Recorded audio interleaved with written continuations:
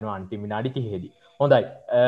දැන් අපි දේශීයව ව්‍යාපාරයේ මේ දේශීය ව්‍යාපාරය පිළිබඳව සාකච්ඡා කරා. දැන් මම අපේ රුමේෂ් මහත්මය වෙතට අවධානය යොමු කරන්නේ මේ රුමේෂ් මහත්මය.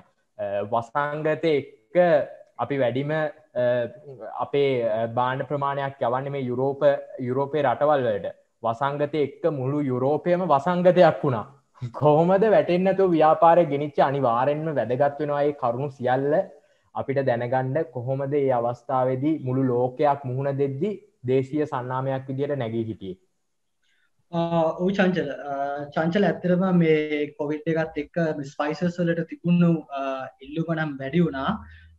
එක යුරෝපෙන් විතරක්න ලෝකම ස්පයිසස් වලට තිබුණ ඉල්ලුම වැඩුවන මොකද අපි ඔක්කොම දන්නවා ඉමට සිිස්ටම් එක බූස් වෙන්න ස්පයිසස් ගොඩක් හෙල්ප් වෙනවා. ඉතින් අත්තිමට අපිට තිබුණ ප්‍රශ්න තිබුණේ චංචල මේ ඩිමාන් සයිඩ් එකෙන් නෙමේ ඇතර මේ සප්ලයි සයිඩ් එකෙන්වී අපේ ප්‍රෝසසිනි කොහොමද කරන්න කියලා. අපිට ඕන තරම් ඇත්තරම කොවිඩ් එක බොහෝවිට අපිට ඔප්පචුනට එකක් දුන්නා. ඕපන් වෙලා තිබුණ නැති මාකට් අපිට ඕපන් වුණා.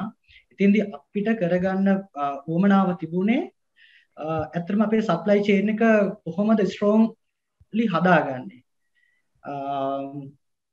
ද අපි මුලින්ම කරේ චංචල අප ඔක්කොම මේ බිස්නස් ඇක්ටිවිටස් ටික බැලුව අපි කොහෙද වීක්ස් පොයින්් තියෙන්නේ? ප්‍රශ්න තියෙන ඒරියස් අපි ඩිමාන් සයිඩ් එක බැලුවම චංචල මුකුත් ප්‍රශ්නයක් නැහැ. ෆයිනන්ස් ප්‍රශ්න ෆයිනන්ස් පැත්ත බැලුවම එක ලොකුම ප්‍රශ්නයක් නෑ විසඳ ගන්න පුළුවන් ආකාරය තිබුණේ. අපිට මේ ප්‍රධාන ගැටලුව තිබුණේ කොහොමද මේ අමුද්‍රව්‍ය සපය ගන්නේ? අමුද්‍රව්‍ය සපයගත්ත ටික කොහොමද ප්‍රෝසෙස් කරන්නේ? අපි දන්නද ෆැක්ට්‍රිය ඇතුලේ අපේ දෙසියක් විතර වැඩ කරනවා. මේ දෙසිය තියාගෙන කරන්න කරන්න විදියක් නැහැ. කොවිඩ් වල කොවිඩ් වල තියෙන විදියට ෆැක්ටරි හදාගෙන යන අපේ ස්පේස් එක මදි. එතකොට අපි ඩිසයිඩ් කරා අපි ස්ට්‍රැටජි එකක් හැදුවා. මෙතන සබ් කන්ට්‍රැක්ට් යුනිට්ස් 10කට විතර බෙදලා එක අපේ ළඟ තැන්වල අපි හැදුව ප්‍රොසෙසින් සෙන්ටර්ස් පොඩි ප්‍රොසෙස් සෙන්ටර්ස් හදලා අපේ එම්ප්ලොයිස්ලා 20 20 වගේ එන්න ඒ 10 අතර මැනේජ් කරා. එතකොට අපි දන්නවා මොනවා හරි කොවිඩ් පේෂන්ට් කෙනෙක් ඩිටෙක්ට් වුණොත් හදිසියෙමත් අපි ඔක්කොම හයිජිනික් කන්ඩිෂන්ස් වලට තමයි එතන ප්‍රොසෙසින් කරේ. හැබැයි හදිසියෙමත් ඩිටෙක්ට් වුණොත් අපිට නවතින්නේ ඒ කෑල්ල විතරයි. ඒතර ප්‍රොඩක්ෂන් එක අනිත් ටික හොඳටම යනවා. ඒ වගේම අපි ඩවුන් ස්ට්‍රීම් එක බැලුවා. අපේ සප්ලයියට අපේ දැනට කරන ප්‍රෝසෙසින් වලින් මොන හරි කැලක් කරන්න පුළුවන්ද ඒ වගේ අයිඩෙන්ටිෆයි කරගත්තා සමහර වෙලාවට ඩ්‍රයින් ප්‍රෝසෙස් එක කලෙක්ෂන් ප්‍රෝසෙස් එක වෙයාහවුසින් ප්‍රෝසෙස් එක ඒ වගේ කඩන්න පුළුවන් ෆන්ක්ෂන්ස් ටික අපි අයිඩෙන්ටිෆයි කරගෙන අපි අපේ සප්ලයර්ස්ලා එන්කරේජ් කරා ඒ කට්ටියන්ගේ ළඟ ඒ ෆන්ක්ෂන් එකක් දෙකක් කරලා ඉතුරු ටික අපේ ළඟට එන්න. එතකොට අපි සප්ලයි චේන් අපි හිතමු වැලියු චේන් එකේ වැලියු ඇක්ටිවිටීස් වලින් පහක් විතර කරා නම් අපිට ඒ වැලියු ඇක්ටිවිටීස් වලින් තුනක් විතර ඩෙඩිකේට් කරන්න පුළුවන් නැත්නම් සබ් කොන්ට්‍රැක්ට් කරන්න පුළුවන්කමක් තිබුණා. ඒක අපි හොඳට ස්ටඩි කරලා ස්ට්‍රැටජි එකක් ඩෙවලොප් කරා ඒක කොහොමද කරන්න කියලා. එතකොට අපි භාගයක් සප්ලයිගේ අතේම ඉවර කරගත්තා. ඊටු ටික අපේ ෆැක්ටරි එක ෆුලි රන් වෙන්නේ නැතුව අපේ ඒක තව සබ් කොන්ට්‍රැක්ට්ස් ප්ලේසස් 10 කර කරලා අපි ඇත්තටම කැපැසිටි එක අපි වැඩි කරගත්තා. ඒකට ඕවරෝල් ඩිමාන්ඩ් එක වැඩි වෙච්ච වෙලාවකට අපිට ඔපචුනිටි එකක් මොකද ඉන්දියාවත් ලොක්ඩවුන් වෙලා හිටියේ. ඒතර ඉන්දියන් මාකට් එකෙන් යුරෝප් වලට යන ඕඩර්ස් ටික ලංකාවට ඒ වෙලාවේ අපිට ආවා. එතකොට අපිට කරගන්න තිබුණේ මෙතන සප්ලයි සයිඩ් එකේ තියෙන ඇක්ටිවිටීස් ටික ඉම්ප්‍රූව් කරගන්න. ඊට පස්සේ දෙවෙනි එක ආවා කොහොමද ෆයිනන්ස් දැන් බැංක් කොහොමත් මේ පැන්ඩමික් වෙලාවේ බැංක් එක එක්සස් කෑෂ් දෙන්නේ නැහැ. අපි බැංක් එකෙන් ඇහුවොත් අපිට වැඩිපුර ඉන්වෙන්ටරිස් ගන්න ඕන දෙන්න කියලා.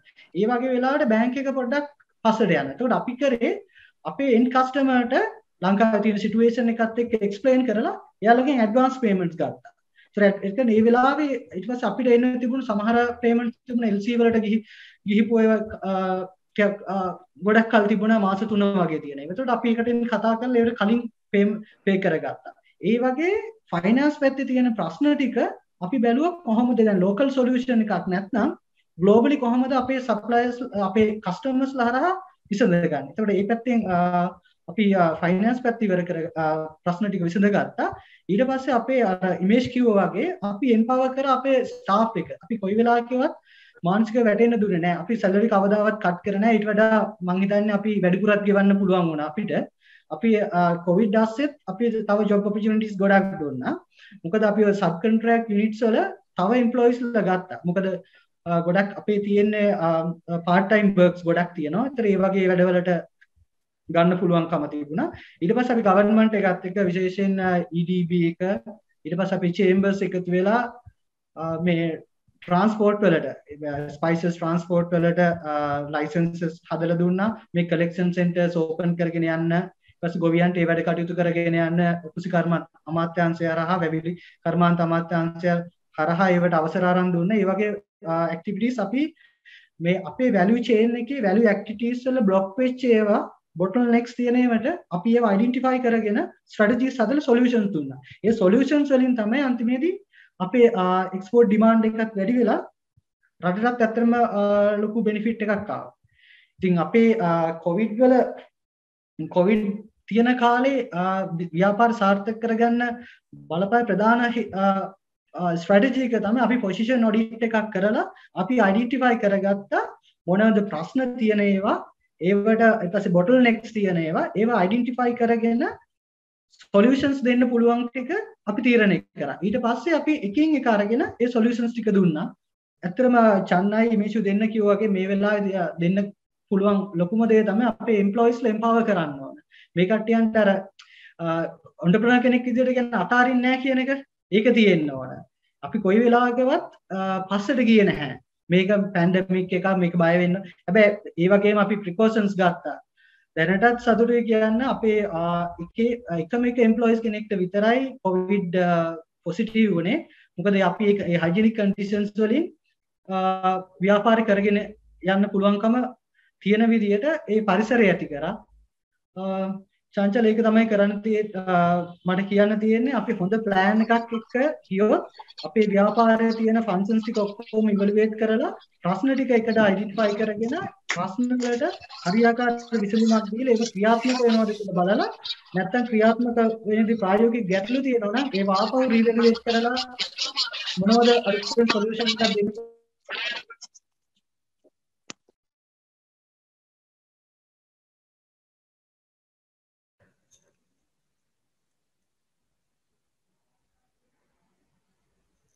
හොඳයි. බොහොම ස්තුතියි. රුමේෂ් මහත්මයා ඉතාමත්ම වැදගත් කරුණු කීපයක් අපට ගෙනාව මොකද මේ අපි ගොඩක් අය දුටුවා මේ වසංගතයත් එක්ක යුරෝපයට විධ ගැටලුවාව හැබැයි ඔහු ඒක ඉතාමත්ම හොඳින් අපිව දැනුවත් කරා මේ මේක නිර්මාණය කරන මේ නිෂ්පාදනයේදී තමා ගැටලුවලට මුහුණ දෙන්න වනේ අන්නේ විදිහට ඉතාමත්ම වැදගත් විදිහට කොහොමද තමන්ගේ කණ්ඩායම පාලනය කරගත්ත කියන දේ පෙළිම් පෙළටම ගෙනාව